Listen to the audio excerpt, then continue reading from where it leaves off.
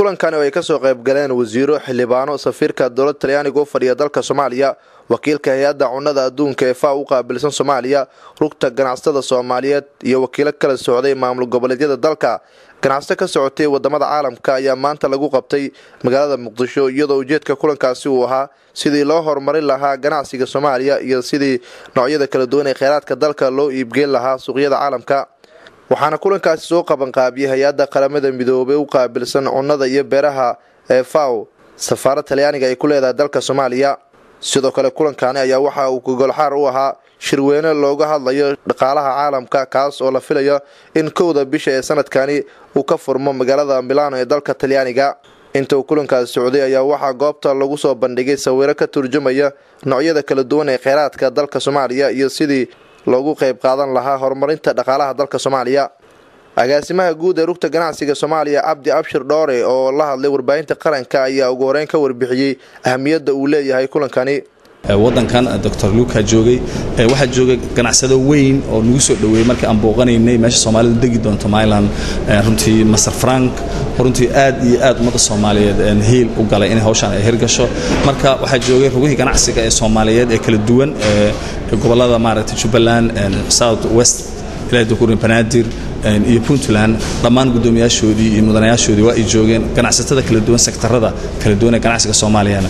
goobjoog ayay ahaayeen waxayna ay ahayd madal runtii aad iyo aad micno ugu fadhida ummadda soomaaliyeed lana rabo in laga dhabeeyo in soomaalidu ay lixdaas bilood ay muujiso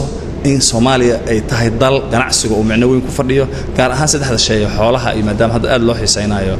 malaayiga iyo raashinka oo waxa ugu weyn laga oo ganacsigaas runtii la soo bandhigi doono uu yahayna soomaalina ay fursad u haysata arrintaas inay runtii soomaalida ganacsatadeed meel walbay joogaan inay inta iska kaashadaan hawshaas ka qayb galaan wasiirka ganacsiga iyo warshadaha ee xukuumadda soomaaliya cabdiraxmaan cabdi cusmaan oo kulankaasi ka qayb galay ayaa goobta ka sheegay in loo baahan yahay sidii ganacsada soomaaliyeed iyo ganacsada kale caalamka ay qayb weyn ugu qaadan lahaayeen sidii suuqyada caalamka loogu iibgeyn lahaa noocyada kala duwan ee kheyraadka dalka soomaaliya.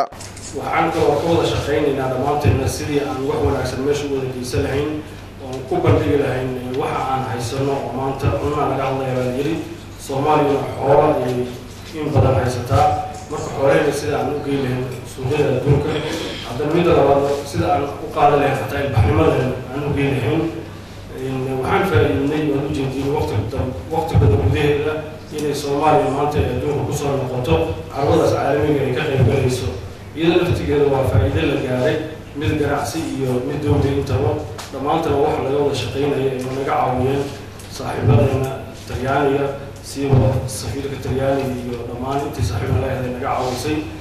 Dalka soomaaliya oo muddooyinkii ugu dambeeyey uu ka soo kabsanayay burburkii soo maray ayaa waxaa jira horumaro kala duwan ay ku tallaabsanayeen ganacsatada soomaaliyeed iyadoo qeybaha kala duwan ee kheyraadka dalkeena hooyo